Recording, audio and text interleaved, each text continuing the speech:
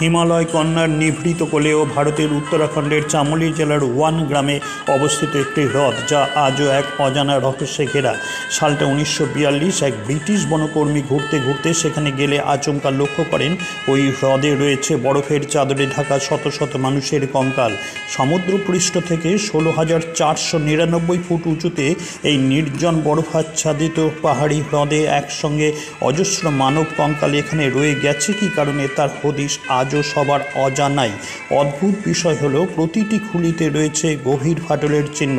বহু অনুসন্ধানকারীর নানা মত এখানে ছড়িয়ে আছে ঠিকই কিন্তু সর্বজন গ্রাহ্য কঙ্কাল কারণ আজও অনুদ্ঘাটিত থেকেছে। এই হাড় হিম করা হ্রদের নাম Roopkund. Presents Ojana Canvas, an web news published from